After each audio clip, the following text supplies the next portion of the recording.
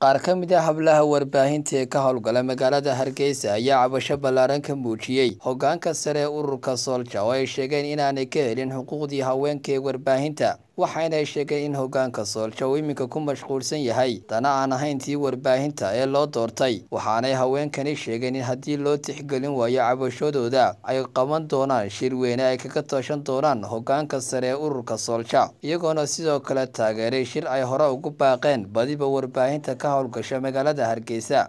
Tan iyo markii dib loo doortay hoggaanka sare ee ururka soolja waxaa isa soo taraysa cabashooyinka kala duwan ee warbaahinta kala duwan ee ku nool somalilan ay ka muujinayaan hoggaanka sare ee ururka soolja anagoo ah hablaha warbaahinta hargeysa. Waxaanu maanta doonaynaa halkan inaanu kaga hadalno hoggaanka howlgabka ama fadhiidka ah ee soolja oo runtii aanan garanaynba cid uu u idman yahay shaqsiyan anigu oo aad moodo inaanu garanaynin inuu mihnadnayaasha u magacownaa oo uu hoggaan u ahaa. Hoggaanka ilaa boord ilaa adigu inta imika waxaan sheegayaa majaraha ururka haysa inaanu cid uu u idman yahayba aanu garanaynin. Oo aad moodaba inuu cid gaar maaragtay mihnada duulaan ku ah uu u shaqaynayo runtii. Waxaan jeclaan lahaa in hoggaanka soolja haddii ay suurtagal tahay uu mihnadlayaasha soo hor fadhiisto si loogala xaajoodo muddadii uu idmanaa wixii uu qabtay. Laakiin waxaa maanta na soo kiciyey wakhtiga cadceeddaan halkaa u taagannahay wadanahayagii oo aan ururkii soolja iyo hoggaankii soolja aanu ka weynay haddaanu hablaha nahay wax aanu maanta dantayadaanu ka dhex aragno hoggaanka soolja ma jirto.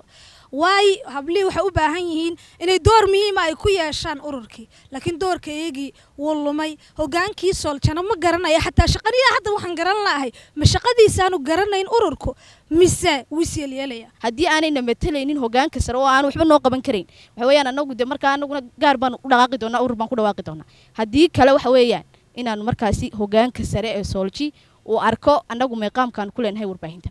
Dabadeetana xaqayagii aanu helo. Teeda kale ee soolja waxaa miisaaniyad ka soo gasha hadday noqoto dowladda hadday noqoto hay'adaha. Weli ma jirto cid si rasmiya intay u soo hor fadhiisata ay sheegto halkay ku baxdo. Waxaa jira suxufiyiin dhibaataysan hadday noqoto qaar xanuunsanaya hadday noqoto qaar xidhan. Weli soolja lama arkin iyadoo intaasoo dhan garab taagan. Taasina waxaan odhan karnaa waa hoggaanka oo fadhiida. Marka maanta waxaanu diyaar u nahay in hoggaanka soolja nalaga bedelo oon anagu welibana gacanteeda iskaga bedelno. Hablaha warbaahinta haddaanu nahay ama saxafiyiinta ka howlgasha magaalada hargeysa inaanay wax xaqa aanay ku lahayn ururkaasi. Waxaa jira wariyaal badan oo xaqoodii aanan helin islamarkaasina dalka ka cararay. Waxaa jira wariyaal xidhan waxaa jira wariyaal aan hadli karin islamarkaasina loogu cagajuglaynaya in la xidhi doono haddii ay ka hadlaan aragtidooda.